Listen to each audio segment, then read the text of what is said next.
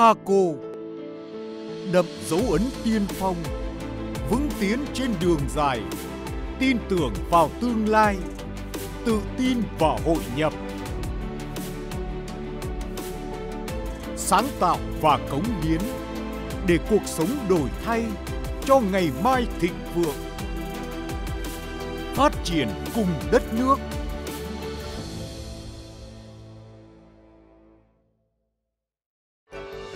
Paco kính mời quý vị xem tiếp bản tin An Viên 24 giờ.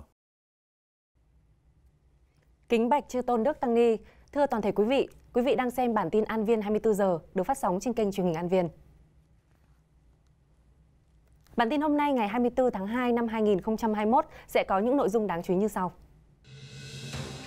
Ban trị sự Giáo hội Phật giáo Việt Nam thành phố Hồ Chí Minh đã có hướng dẫn nhằm đảm bảo cho công tác phòng chống dịch tại các tự viện Phật giáo trên địa bàn thành phố Hồ Chí Minh dịp rằm tháng Giêng.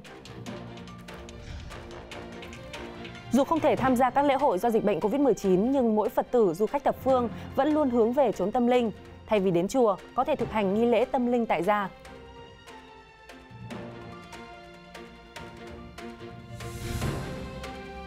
Hàng năm cứ đến 13 tháng riêng, người dân hay du khách khắp nơi lại nô nức hướng về dự hội Lim. Tuy nhiên năm nay lại có một mùa hội Lim thật khác, thật đặc biệt trong bối cảnh phòng chống dịch Covid-19.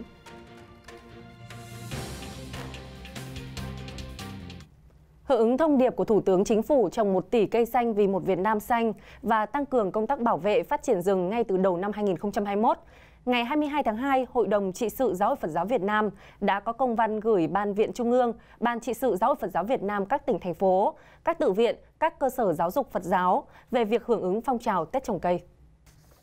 Cụ thể, nhằm thực hiện tốt chương trình hoạt động Phật sự trong công tác bảo vệ môi trường, ứng phó với biến đổi khí hậu của Giáo hội Phật giáo Việt Nam, Ban Thường trực Hội đồng Trị sự Giáo hội Phật giáo Việt Nam kêu gọi tăng ni các ban viện trung ương, Ban trị sự Giáo hội Phật giáo Việt Nam các tỉnh thành phố, các chùa, cơ sở tự viện, các cơ sở giáo dục Phật giáo tổ chức phong trào Tết trồng cây, bảo vệ và trồng cây gây rừng trước tác động của biến đổi khí hậu toàn cầu, các hiện tượng thời tiết cực đoan gây hậu quả nặng nề đến tính mạng, tài sản của nhân dân, góp phần thiết thực vào công cuộc xây dựng, phát triển bền vững đất nước. Cũng trong ngày 22 tháng 2, Hội đồng trị sự Giáo hội Phật giáo Việt Nam cũng có công văn về việc tổ chức hiến máu nhân đạo. Trong nhiều năm qua, các ban viện trung ương, ban trị sự Giáo hội Phật giáo Việt Nam các tỉnh, thành phố, các chùa, cơ sở tự viện và cơ sở giáo dục Phật giáo đã có nhiều hoạt động hiến máu nhân đạo đạt kết quả tốt. Do tình hình dịch COVID-19 liên tục diễn biến phức tạp và thời gian nghỉ Tết kéo dài đã gây ảnh hưởng nghiêm trọng tới hoạt động tiếp nhận và cung cấp máu trong khám và chữa bệnh. Vì vậy, theo đề nghị của Viện Huyết học Truyền máu Trung ương, đồng thời cũng là cơ hội để chư Tăng Ni thực hành hạnh nguyện Bồ Tát Đạo, Ban Thường trực Hội đồng Trị sự Giáo hội Phật giáo Việt Nam kêu gọi Tăng Ni các ban, viện Trung ương, Ban Trị sự Giáo hội Phật giáo Việt Nam các tỉnh, thành phố, các chùa, cơ sở tự viện và các cơ sở giáo dục Phật giáo tiếp tục tổ chức phong trào hiến máu cứu người, hành Bồ Tát Đạo. Thưa quý vị, dịch COVID-19 vẫn đang ảnh hưởng nghiêm trọng ở nước ta để đảm bảo cho công tác phòng chống dịch tại các tự viện Phật giáo trên địa bàn thành phố Hồ Chí Minh dịp rằm tháng Giêng sắp tới. Trưởng lão Hòa thượng Thích Chí Quảng, Phó pháp chủ kiêm giám luật Hội đồng chứng minh, trưởng ban trị sự Giáo hội Phật giáo Việt Nam thành phố Hồ Chí Minh đã có những hướng dẫn đến Phật giáo các quận huyện và cơ sở tự viện. Ban trị sự Giáo hội Phật giáo Việt Nam quận huyện tăng ni trụ trì các tự viện, ban quản trị, ban quản lý các cơ sở Phật giáo tiếp tục tăng cường thực hiện nghiêm các quy định về phòng chống dịch COVID-19 đảm bảo việc sinh hoạt tôn giáo trong dịp rằm tháng riêng năm Tân Sửu được an toàn. Mỗi tự viện cần có thông báo chung tại cơ sở về việc hạn chế số lượng thành viên tham dự, thực hiện nghiêm thông điệp 5K đối với các sinh hoạt tôn giáo theo quy định chung của chính phủ, Bộ Y tế và chính quyền thành phố. Chư tôn đức quản lý có trách nhiệm tại các cơ sở cần kết hợp với chính quyền sở tại thực hiện điều tiết phù hợp với số lượng người đến cơ sở tham gia việc lễ chùa, tham quan dịp rằm tháng riêng năm Tân Sửu 2021. Do dịch bệnh COVID-19 tại Thủ Dầu Một, tỉnh Bình Dương nhiều ngày qua, ở một số ngôi chùa lớn, công tác phòng dịch được đề cao hơn bao giờ hết.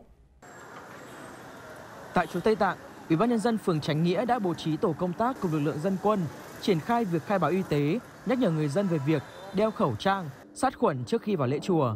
Bên trong chùa, các Phật tử luân phiên nhau túc trực đo thân nhiệt, nhắc nhở người dân giữ khoảng cách. Tại phường Phú Cường, Ủy ban nhân dân phường đã đề nghị ban trị sự Miếu Bà Thiên Hậu thực hiện các biện pháp khác nhau, tạm đóng cửa, dừng tiếp đón du khách và nhân dân đến hành hương. Trước tình hình phức tạp của dịch Covid-19, Ủy ban nhân dân thành phố Thủ Dầu Một quyết định không tổ chức lễ hội rằm tháng riêng, không cho phép các đoàn lân sư rồng hoạt động, cũng như cấm các hoạt động buôn bán diễn ra trước cổng miếu bà Thiên Hậu. Thưa quý vị, đầu xuân đi viếng chùa lễ Phật là nét đẹp văn hóa truyền thống của người Việt.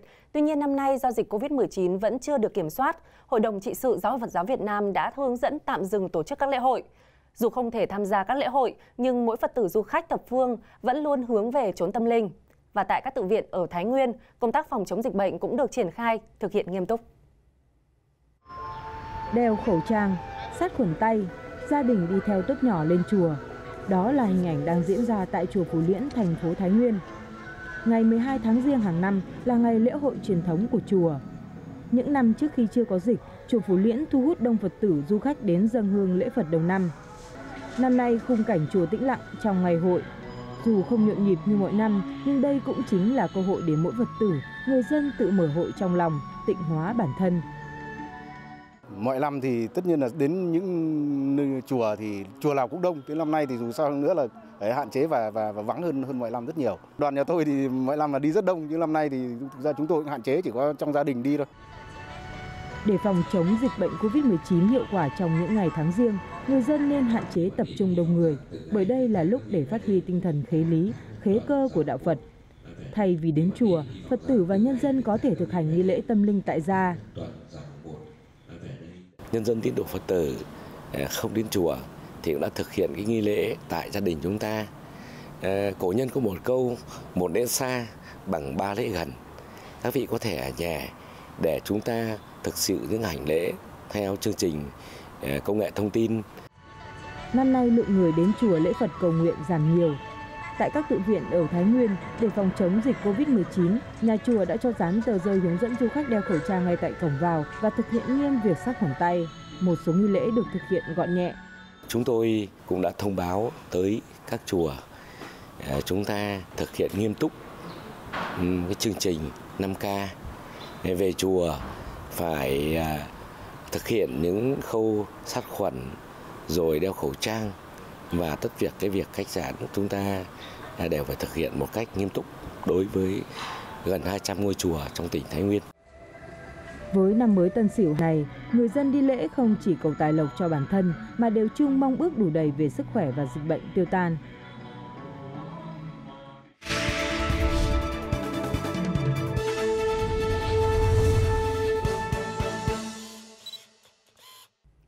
Đã thành lệ hàng năm cứ đến 13 tháng riêng, người dân sở tại hay khắp du khách thập phương lại nô nức về dự hội Lim. Năm nay thực hiện chỉ đạo của Thủ tướng Chính phủ và Ủy ban Nhân dân tỉnh Bắc Ninh để đảm bảo an toàn phòng chống dịch viêm đường hô hấp cấp do chủng mới virus corona gây ra. Hội Lim đã tạm dừng, không được tổ chức. Chắc hẳn là người dân xứ Kinh Bắc, không ai không nhớ về không khí hội hè, nhớ về những làn điệu dân ca quan họ say đắm lòng người. Trong mục tiêu điểm ngày hôm nay, mời quý vị cùng theo dõi một không khí hội Lim thật đặc biệt tại Bắc Ninh. Tiếng tụng kinh đều đều vang vọng giữa chính điện chùa Lim.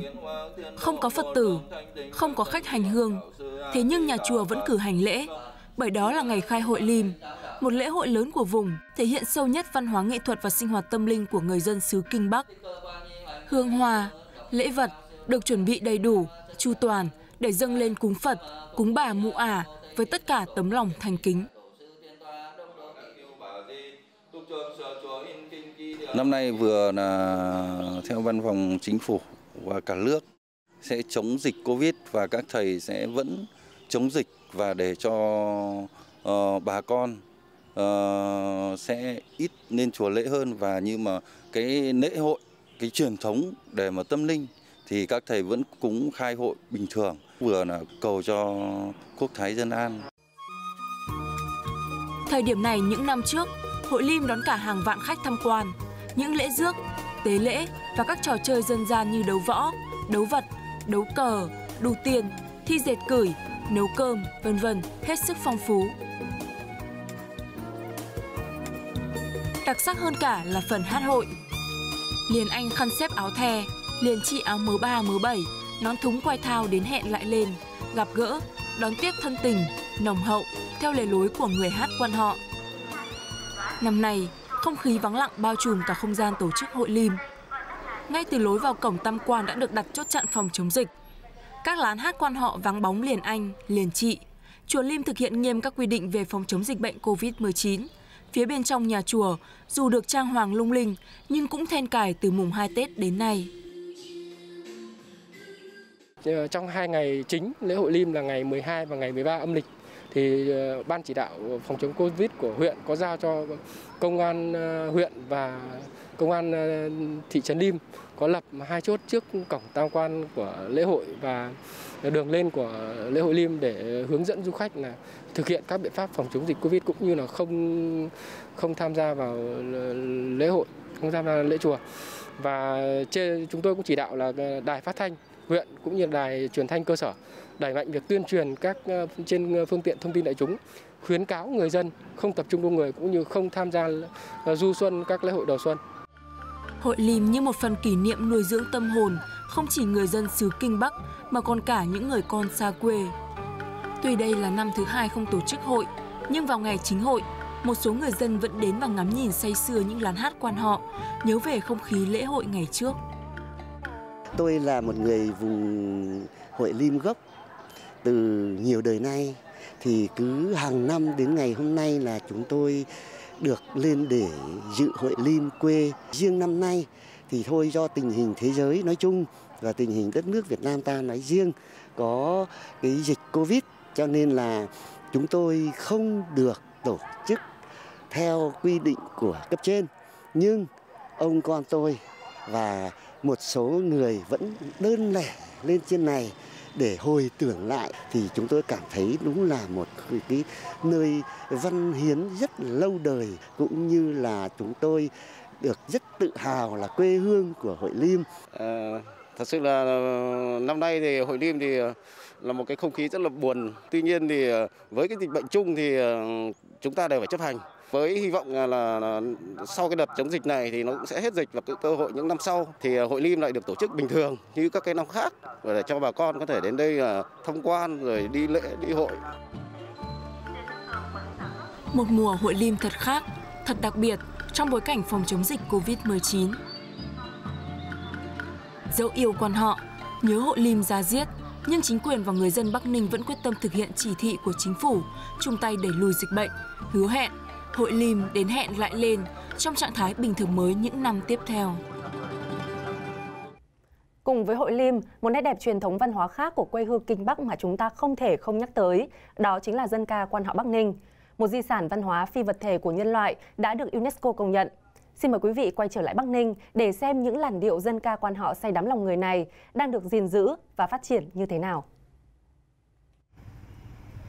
Đến hẹn lại lên vào mỗi thứ bảy hàng tuần, các liền anh liền chị ở làng Tam Sơn, phường Tam Sơn, thị xã Từ Sơn, tỉnh Bắc Ninh lại tập trung về nhà chứa quan họ để giao lưu, học tập các làn điệu dân ca quan họ mà mình yêu thích. Kể từ khi được thành phố Bắc Ninh đầu tư xây dựng cho làng căn nhà chứa quan họ này, bà Tòng có lẽ là người vui nhất. Bởi lẽ, nó không chỉ minh chứng rằng nơi đây là một trong những làng quan họ gốc của vùng đất Kinh Bắc, mà còn là thành quả trong nỗ lực khôi phục, gìn giữ quan họ Bắc Ninh của bà và những người yêu mến quan họ ở Tam Sơn trong suốt hàng chục năm qua. Bây giờ nhà nước đã quan tâm, với cái năm năm 18 2018 đã được lĩnh ờ, ờ, ờ, bằng bằng bằng làm quan hộ gốc. Ừ. Thế năm ngoái làng tỉnh người ta về ta làm cái nhà này chúng tôi rất sướng, rất phấn khởi vì có mình coi mình những người khôi phục văn họ thì mới có cái nhà này không có người khôi phục thì làm gì có thế dù có ai ai không có cái chương trình mình khôi phục không không được. Thế thế là chúng tôi rất là phấn khởi mà ơn nhà nước là mãi mãi. Thế chị em chúng tôi bảo nhau để cố gắng duy trì giữ lấy ờ, ờ, cái ờ, phòng ấy văn hóa của quê hương mình. Trong cái thời điểm 1995 đến 2001 thì được sự quan tâm của tỉnh, đặc biệt là Trung tâm Văn hóa của tỉnh Bắc Ninh đã cử nghệ nhân về để đào tạo cũng như dạy, truyền dạy cho Tam Sơn. Lúc đó chúng tôi cũng đã được tham gia cái lớp đào tạo này. Và lúc đó là khoảng 34 người, cả toàn xã lúc đó là xã Tam Sơn. Thì Tam Sơn, thôn Tam Sơn thì có khoảng 24 người. Đến nay, tỉnh Bắc Ninh đã xây dựng và đưa vào sử dụng được 8 nhà chứa quan họ theo quyết định của Ủy ban nhân dân tỉnh về chủ trương đầu tư xây dựng nhà chứa quan họ cho 44 làng quan họ gốc trên địa bàn tỉnh. Từ không gian văn hóa đặc thù này đã có thêm hàng trăm làng quan họ thực hành, cũng như các câu lạc bộ quan họ lớn nhỏ được hình thành và phát triển mạnh mẽ ở khắp các thôn, làng, khu phố trên toàn tỉnh, theo cả bề rộng lẫn chiều sâu với nhiều lứa tuổi cùng tham gia. Đối với dân ca quan họ thì ở làng Diềm thứ nhất là câu lạc bộ quan họ uh, tổ chức uh, sinh hoạt cũng như là uh, kết nạp hội viên để hàng năm là quân số là từ năm sau là cao hơn năm trước. Nhất vậy cái thứ hai là từ các thế hệ trẻ thì được đào tạo ngay từ trong các trường học là ủy ban tỉnh cũng uh, đầu tư cho các trường học để mở lớp dạy quan họ các tiết dạy quan họ à, trong giờ học để các cháu nắm được và biết được về quan họ. Bên cạnh việc đẩy mạnh đầu tư xây dựng các không gian sinh hoạt hát quan họ, Bắc Ninh còn ban hành nhiều chính sách khuyến khích dạy và học hát quan họ trong trường học, thành lập các câu lạc bộ quan họ, có chế độ hỗ trợ, vinh danh các nghệ nhân quan họ. Đây chính là động lực để mỗi người dân Bắc Ninh luôn ý thức giữ gìn và phát huy tối đa giá trị văn hóa truyền thống của dân ca quan họ trên quê hương mình. Em ờ, thấy, nghe thấy quan họ là em đã thấy thấm vào trong máu mình rồi.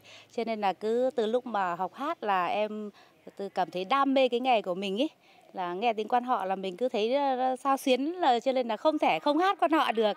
Ngày xưa là chúng tôi cứ thấy này này là cứ đi làm ở nông dân, nông thôn thì cứ đi làm, sáng ngày làm về, tối lại tập trung học ca hát quan họ. Thế nhưng là đã đi học ca hát quan họ thì rất là mãi, ham mê, chưa ạ. Vâng. Cho nên là người ta gọi là như là máu như thịt con họa này ngấm vào mọi người.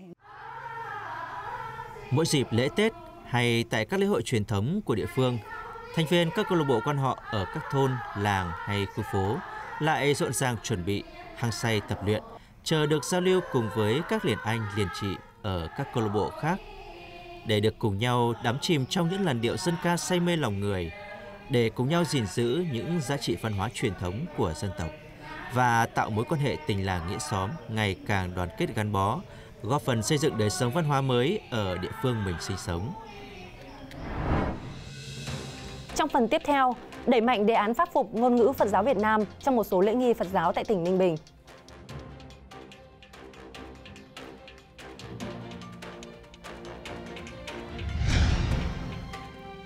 Trong suốt 3 tuần phải đối mặt với dịch bệnh, những hành động đẹp, những việc làm nhân ái ngày càng lan tỏa, giúp người dân tại Hải Dương ấm lòng và lạc quan hơn trước gian khó.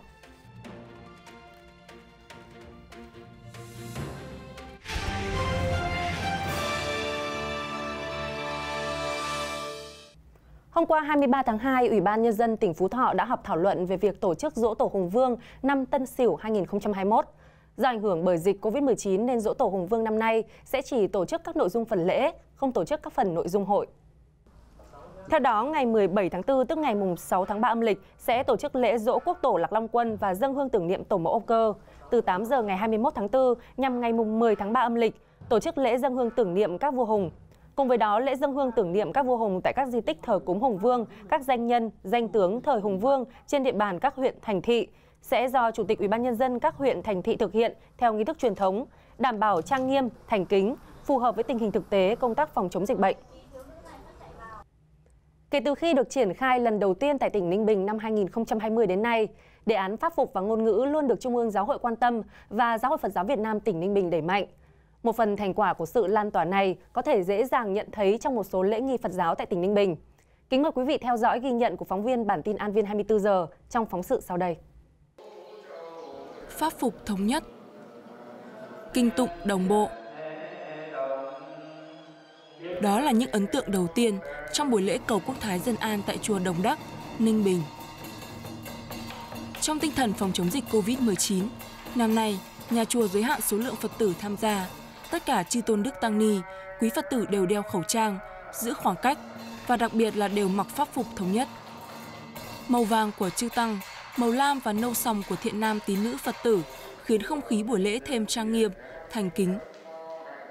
À, là một Phật tử, chúng tôi ờ, được ờ, nhận cái bộ pháp phục này từ năm ờ, 2020. Nhìn chung trước tiên mà nói là cái bộ pháp phục này chúng tôi thấy về mặt hình thức nó rất đẹp và nó rất phù hợp với cái đạo pháp của chúng tôi. À, khi mặc lên người chúng tôi thấy nó rất trang nghiêm và nó nhắc nhở chúng tôi cần phải tu như thế nào đó để cho nó xứng đáng với bộ pháp phục mà mình đang mang trên người. Trong buổi lễ cầu an đầu năm, toàn thể đại chúng đã tụng kinh dược sư.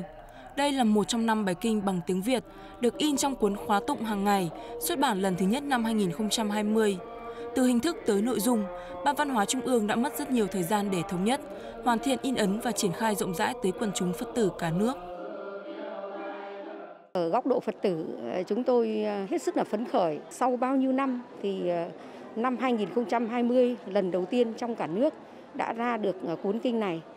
Với chúng tôi cũng như tất cả những cái Phật tử khác thì khi được sử dụng cuốn kinh này để tu hành hàng ngày thì chúng tôi thấy rất dễ hiểu lời dạy của Đức Phật và với cái bài trí của quyển kinh thì mọi người từ già đến trẻ là cũng rất dễ đọc tụng. Nếu chúng ta không có một cái pháp phục riêng, ờ, màu sắc đặc trưng riêng và kiểu dáng riêng và chúng ta cũng không có một bài kinh bằng ngôn ngữ tiếng Việt riêng của chúng ta thì ờ, chúng ta đã bị ảnh hưởng ờ, bởi cái ngôn ngữ của ngoại lai khiến cho chúng ta rất khó tiếp nhận cái tinh thần của Phật giáo cho nên hầu như là các tăng ni và Phật tử đánh giá rất cao mà không chỉ những tăng ni Phật tử mà kể cả các cơ quan quản lý nhà nước cũng thấy rằng cái việc làm của ban văn hóa à, phát động phổ biến cái tinh thần này thì họ rất hưởng ứng. Trước đó, từ giữa năm 2020, Ninh Bình là địa phương đầu tiên triển khai đề án Pháp phục Phật giáo Việt Nam thống nhất trong đa dạng và kinh chuyển pháp luân thuần Việt. Sau đó, lần lượt đến các tỉnh thành khác như Hà Nội, thành phố Hồ Chí Minh, Cần Thơ, Nghệ An, vân vân. Qua nhiều lần thẩm định và chỉnh sửa, Ban Văn hóa Trung ương cũng đã thống nhất được pháp phục, bài kinh chuyển pháp luân và cuốn kinh tụng hàng ngày. Trong thời gian tới, đề án pháp phục và ngôn ngữ mong đợi sẽ được tiếp tục đẩy mạnh và lan tỏa hơn nữa tới chư tôn đức tăng ni và Phật tử, bởi đó không chỉ là nét đặc trưng của Phật giáo Việt Nam mà còn là sự tự tôn, niềm tự hào dân tộc. Ờ, với cái sự hưởng ứng, cái sự nhận thức đúng đắn của các tăng ni Phật tử cũng như là các cấp các ngành thì cái việc phổ biến hai đề án ngôn ngữ và pháp phục chắc chắn là, là sẽ sẽ thành công rất là viên mãn trong ờ, năm ờ, 2021 cũng như là các cái năm tiếp theo.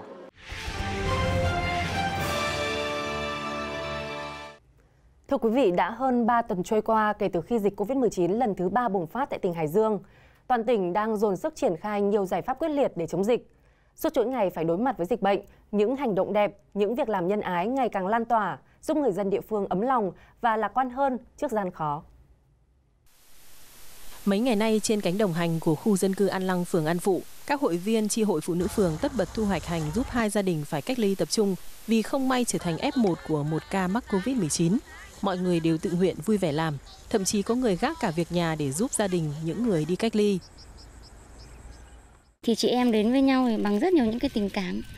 Thì ờ, mình như là những cái gia đình mà đi cách ly cả nhà đấy thì còn ờ, đến dọn nhà này, rồi là chăm sóc vật nuôi, rồi là thăm hỏi tặng quà. Dịch Covid-19 tại Hải Dương đã khiến cuộc sống của nhiều nông dân người kinh doanh buôn bán phải lao đao. Các tỉnh thành khác do lo ngại dịch bệnh đã hạn chế thậm chí từ chối những chuyến hàng từ Hải Dương vận chuyển sang. Thế nhưng nhiều nông dân và thương lái đã tạm quên đi những thiệt hại của mình, vẫn sẵn sàng san sẻ với những người khó khăn hơn. Con vùng dịch bây giờ rất là cần thực phẩm nên là chúng chúng tôi ờ, thu mua rau về rồi nhưng không bao tiêu được mà chúng tôi muốn hỗ trợ bà con nông dân ờ, ở khu ờ, bị cách ly còn tại huyện Tứ Kỳ, mặc dù đang lo cho hơn 120 ha chuối không có thương lái thu mua, nhưng khi thấy nhân dân xã Hưng Đạo cần giải cứu su hào bắp cải, những hội viên nông dân của xã Chí Minh đã không nề hà đến tận nơi thu hoạch giúp và cũng hỗ trợ một phần kinh phí để chia sẻ với thiệt hại cho nông dân nơi đây. Chúng tôi với tinh thần là tiêu thụ nội khối, người trong huyện no cho người trong huyện, người trong xã no cho người trong xã. Cảm thông với nỗi lo của nông dân Hải Dương khi nông sản đến ngày thu hoạch không có ai mua bị tồn động. những người Hải Dương xa quê đã chủ động kết nối với các đầu mối ở vùng nguyên liệu trong tỉnh để thu mua và bán giúp cho bà con nông dân đang thiệt hại do dịch Covid-19. Bên cạnh đó, hàng trăm doanh nghiệp, cơ quan và cá nhân trong và ngoài tỉnh cũng gửi tặng rất nhiều nhu yếu phẩm và khẩu trang, trang bị y tế, nước sát khuẩn để hỗ trợ cho lực lượng đang căng mình chống dịch ở tuyến đầu. Đối với nội bộ trong à, các cái đoàn thể cũng như bà con nhân dân là có thể nói là tuyệt vời. Đã tổ chức được các cái tổ đội để giúp đỡ cho nhân dân thay mặt cho uh, nhân dân thị xã Kinh Môn. Tôi hết sức là cảm kích và cảm ơn tất cả những tấm lòng đó. Việc cách ly xã hội khiến cuộc sống sinh hoạt của người dân Hải Dương chịu nhiều bất tiện. Nhưng chính lúc này, tinh thần thương yêu chia ngọt sẻ bùi giữa những người cùng cảnh ngộ càng lan tỏa trong cộng đồng. Vòng tay nhân ái trong cộng đồng người dân sống tại Hải Dương và các nơi tiếp tục được nối dài. Họ đã và đang tiếp sức cho nhau cả vật chất lẫn tinh thần, động viên nhau kiên cường, đồng lòng vượt khó để chống chọi với dịch Covid-19 và cùng tin tưởng vào một ngày mai tươi sáng hơn. Giáo dục hướng nghiệp là cách giúp người tự kỷ có thể hòa nhập với cộng đồng. Dù biết vậy nhưng không phải ai cũng có thể mở lòng và đủ sự kiên nhẫn để làm được điều này. Và ở phần cuối của chương trình hôm nay, kính mời quý vị đến với một mái ấm, nơi đã giúp rất nhiều trẻ tự kỷ hòa nhập và thậm chí là trở thành người có ích cho xã hội. Nhìn những bức vẽ này, ít ai có thể nghĩ đây là các tác phẩm của trẻ tự kỷ, nhóm đối tượng bị đánh giá là chậm phát triển và ít có khả năng hòa nhập xã hội. Là sản phẩm của các em nhỏ thuộc dự án hướng nghiệp cho trẻ tự kỷ và chậm phát triển trí tuệ. Nhiều năm nay, nơi đây đã giúp đỡ rất nhiều những người yếu thế có cơ hội để hòa nhập với cộng đồng. Ờ, rất là nhiều bạn không có điều kiện là cho đi học. Ừ, một số bạn đã ừ, theo dự án ờ, và các bạn đã có những cái nghề, những cái công việc ờ, dù nó nhỏ thôi. Ví dụ như là sổ tay bọc bìa vải hay là các nơ hoa. Thì những cái sản phẩm đấy thì mọi người rất là yêu thích và thực sự mọi người đến mua, đôi khi không phải là mua để ủng hộ, mua từ thiện mà mua cái sản phẩm đấy với chính cái giá trị thực của cái sản phẩm đấy. Dự án được mở ra với mong muốn giúp người tự kỷ, khuyết tật trí tuệ có cuộc sống độc lập hơn, giảm bớt gánh nặng cho gia đình, cùng xã hội hỗ trợ cho họ có cuộc sống tốt đẹp hơn. Trong gần 4 năm qua, đã có rất nhiều hoàn cảnh khó khăn có được cơ hội để phát triển và hoàn thiện bản thân. Mình gặp mẹ khi có xảy ra một cái biến cố ở Đà Nẵng. Xong rồi sau đấy thì cũng được mẹ giúp đỡ để vượt qua cái giai đoạn đấy sau đấy thì ờ, mình đỗ đại học ra ngoài ờ, trường khoa học xã hội nhân văn thì mẹ cho được một chỗ ở để sống và mẹ cũng cho làm các sản phẩm, các thứ để có thể bán, để kiếm tiền đi học Mở lòng để kêu mang những trẻ tự kỷ có hoàn cảnh khó khăn đã là một chuyện khó. Duy trì và dạy nghề cho các em trong suốt 4 năm qua lại càng gian nan hơn gấp nhiều lần khi dự án hoàn toàn phi lợi nhuận. Để làm được điều này là cả một sự cố gắng, hy sinh của chị Phan Lan Hương và các cộng sự. Những cái tiền mà mẹ bỏ ra có thể mua được một cái căn nhà riêng để mẹ có cuộc sống khang trang hơn hay là các các em của mẹ thì sẽ có phòng riêng chẳng hạn nhưng mà mẹ đã dành hết tất cả mọi cái tích góp đấy để cho các bạn tự kỷ. Cái tiền mà để duy trì dự án 4 năm nay uh, một phần Ờ, là từ cái cái kinh phí từ bản thân mình. À, một phần nữa là do các bạn bè đồng nghiệp cũng ủng hộ. Người thì chạy ngược chạy xuôi người thì bảo ô này thì cho cho chúng nó khoảng chục hộp màu này. Hoặc là ô này ờ, tôi may cho chúng nó khoảng tầm chục cái túi này. Đó ví dụ như vậy mỗi người một ít mỗi người một chút thì uh, đã củng cố thêm cái niềm tin cho mình để mà có thể uh, giữ vững cái dự án cho đến tận hôm nay.